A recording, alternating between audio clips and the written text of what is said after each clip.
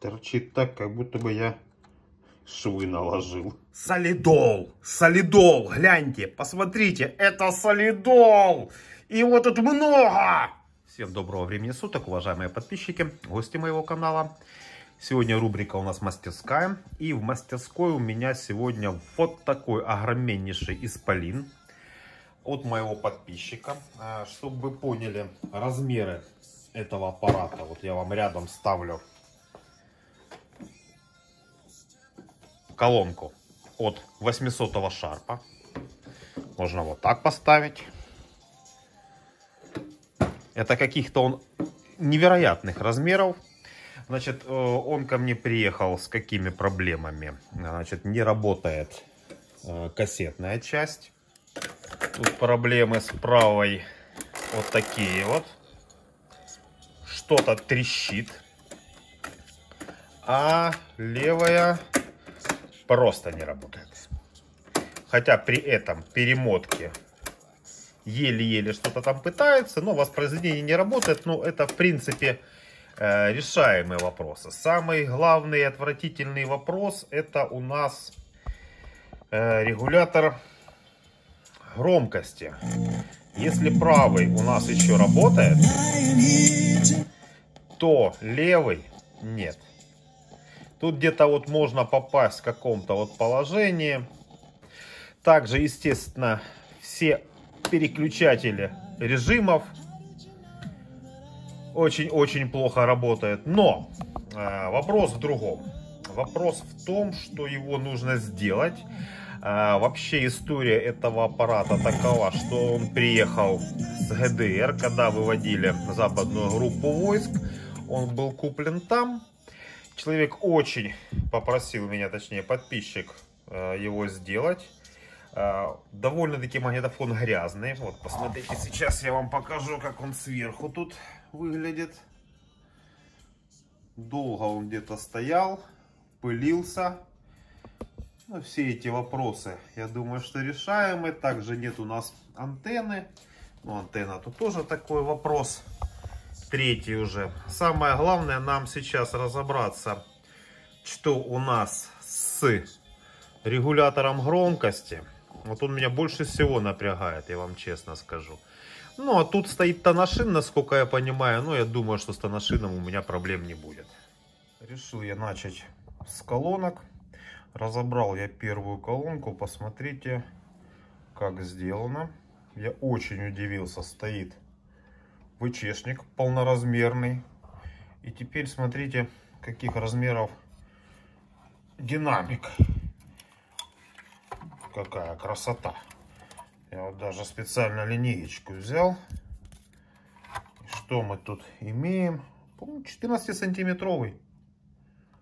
14 сантиметров динамик стоит. И что я увидел на динамике, честно написали 12 ватт.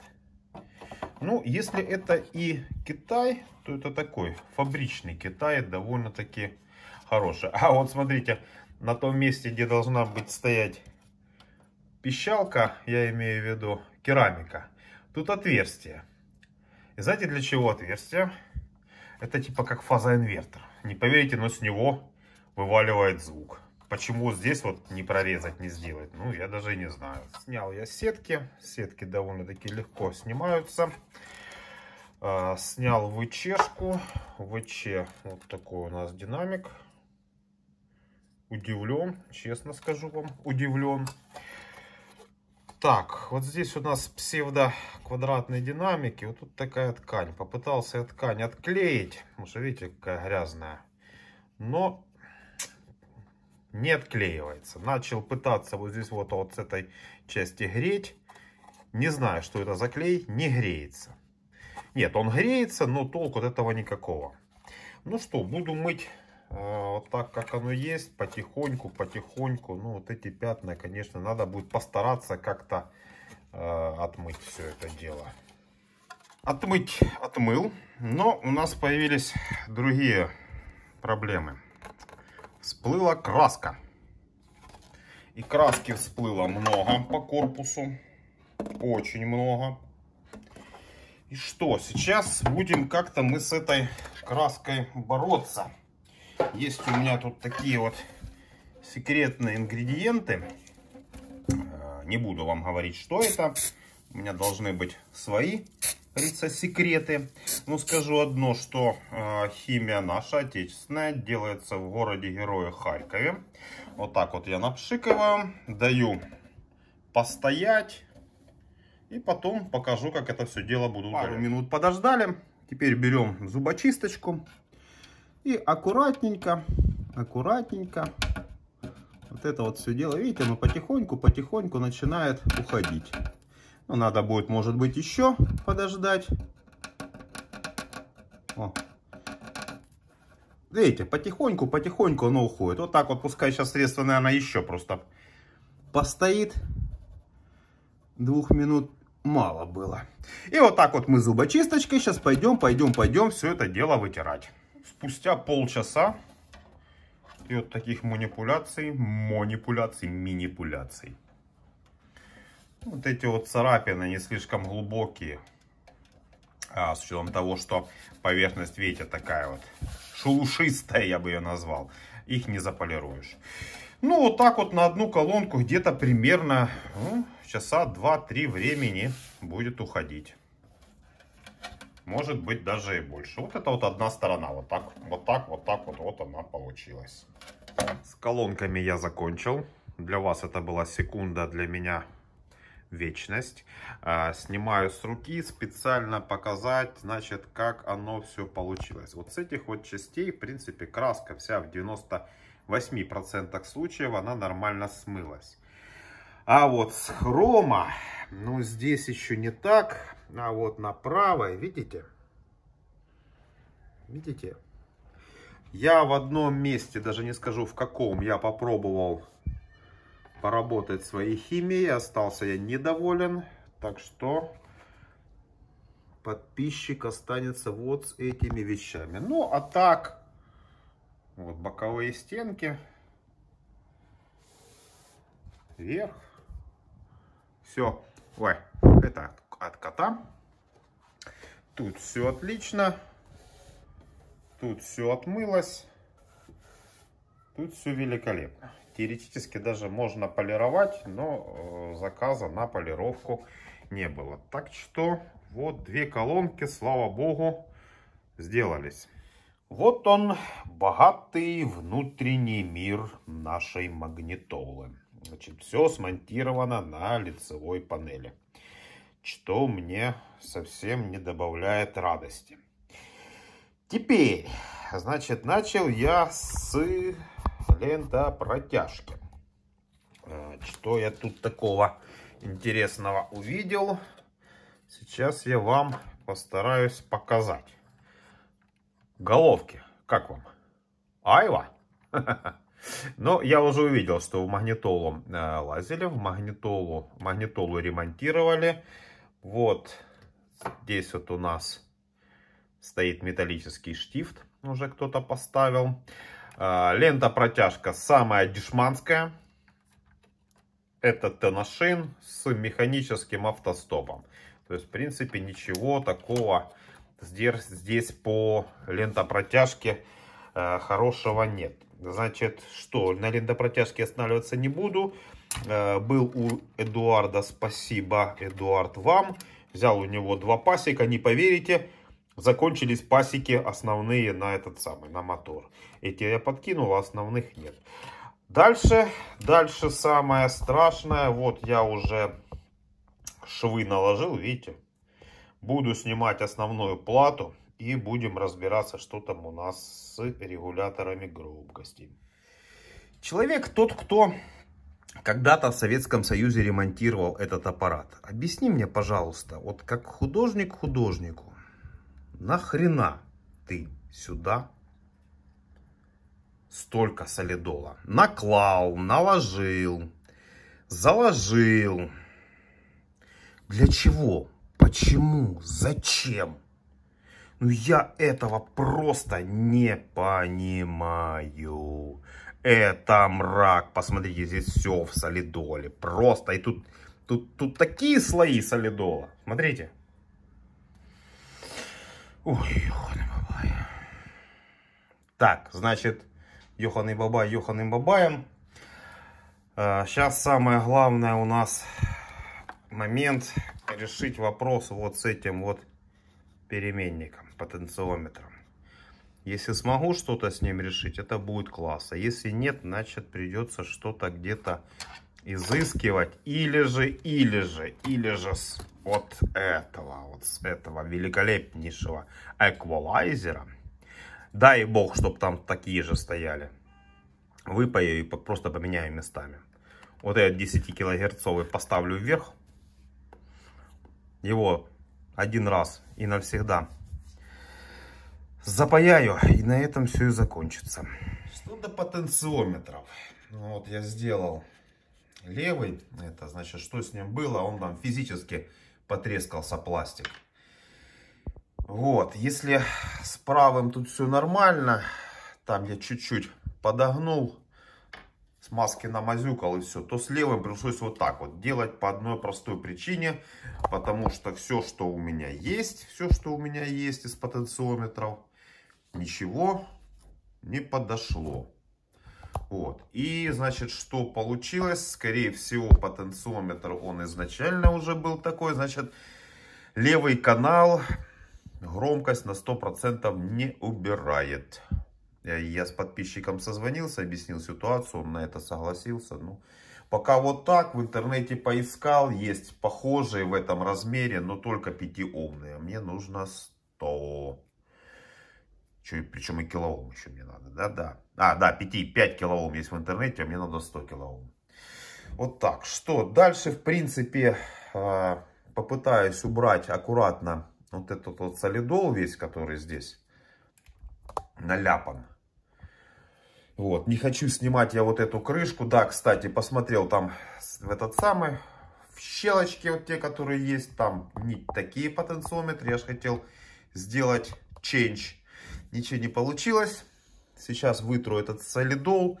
И дальше буду разбирать всю-всю-всю крышку, все это снимать для того, чтобы сделать баньку. Пока морда в бане, дошло у меня очередь до типа блока питания. Вот так он выглядит. А, не понравился мне вот этот вот конденсатор. Что-то жопка у него уже подвздулась. Вот, нашел у себя. Есть у меня новый на 4,7. Единственное, здесь 25 вольт, здесь 35 вольт, а фиг с ним. Но вот что я еще заметил. Смотрите, как вам? Вот тут еще должен быть один конденсатор стоять. И вот даже в этом самом, скажите, в соплях, в термосоплях, место осталось, где он был. Кто-то когда-то его выпаял. Я не знаю, ни номинала, ничего. Пошел, купил на 1000 фарад, 50 вольт. Сейчас я его вот сюда вот так вот запаяю. И будет он здесь стоять. Но не зря же он здесь был. Так что меняем конденсаторы на блоки питания. Запаял я конденсаторы. Вот так получилось. Немножко колхозненько. Но они больше размеров были. Вот пришлось вот так вот как-то их приколхозить. Платку помыл. А, да, кстати, кому будет интересно, плата работает 24 вольта, она из себя выдает. Вот то, почему и конденсатор вздулся, почему этот выпаяли. выпаяли. Оно на пределе все работало, видать, когда-то напруга, напруга скакнула, вот то и конденсаторчики повздувались. Дело движется к завершению. А, помыл я подкассетники, точнее кассетоприемники. Есть тут, тут небольшие, бачите, такие вот подряпанные.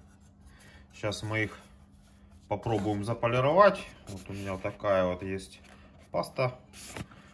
Или вот такая. Сейчас посмотрю, какой лучше. Но я вот этой постоянно пользуюсь. Эдуард говорит, мой друг, что лучше вот этот, вот эта паста. Ну, сейчас попробуем, что оно получится. Ну, я вам хочу сказать, вот эта паста, вот эта паста мне понравилась гораздо больше, чем вот это. То есть вот этот ламп доктор Э, по пластику, а она более, ну не более мелкое зерно. Вот это, вот это, вот здесь более крупное зерно. То есть я сначала поработал вот этой пастой, потом поработал вот этой пастой. Я вам честно скажу, результат очень шикарный. Ну просто классный. Очень мне понравилось. Это вам на заметку. Ну что, первый прогон, так сказать, накинул я так вот мордочку. Пока еще ничего не прикручивал. Так, что, что, давайте. Радио. Все, вот это вот минимальный звук. Ну, пока я ищу. Ищу я потенциометр, может быть, найду. Ну, радио, кстати, шикарнейше принимает. Вообще шикарно принимает. Ну что, давайте... Ага. Ага. Значит, гул у нас так и остался на кассетной части. Если я от гула избавился на, скажите, на вы, сы, высы с радио, то здесь гул остался. А гул, это теперь надо будет его искать. Скорее всего, головка. Это мне так кажется. Ну что, как интересно. Так гудит, а так не гудит. Ну, с Богом.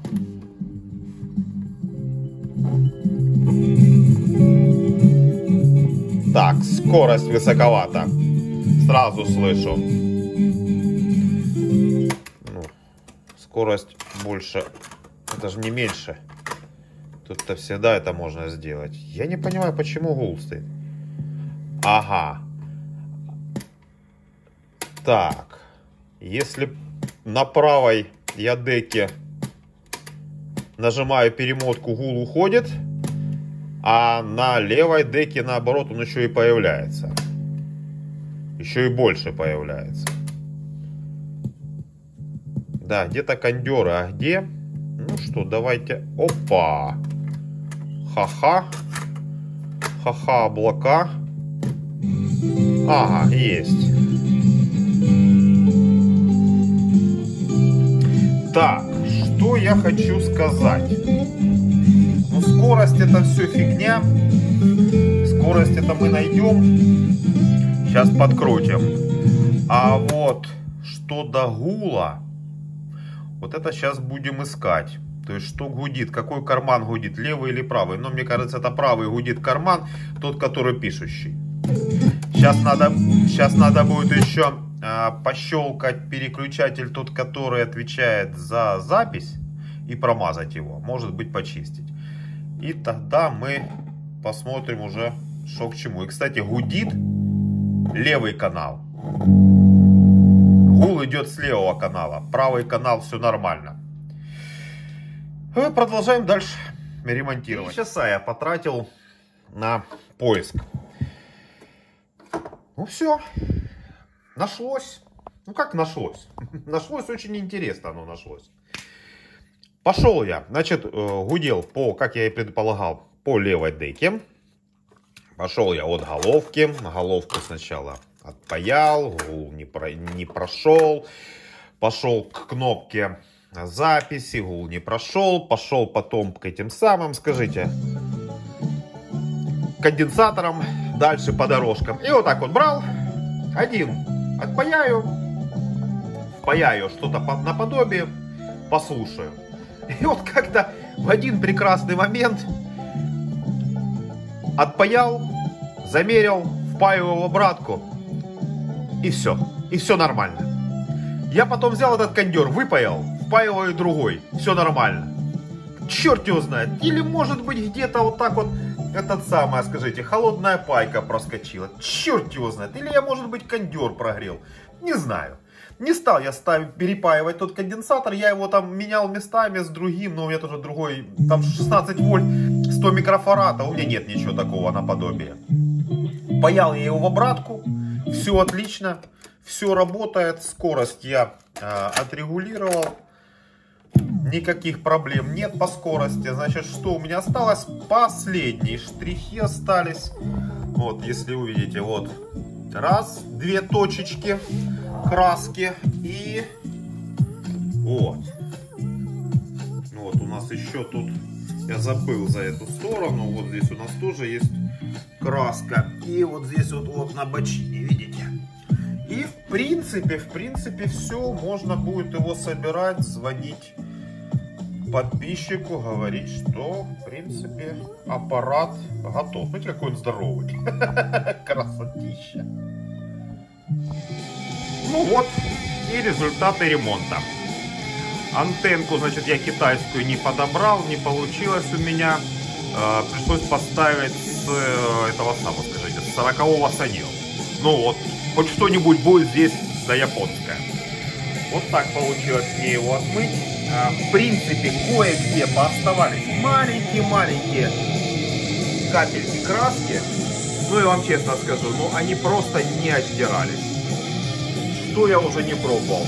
А, с лицевой панелью было хуже всего бороться с краской, потому что все, вот это все, вот это вот особенно здесь, все нанесена вся краска снаружи.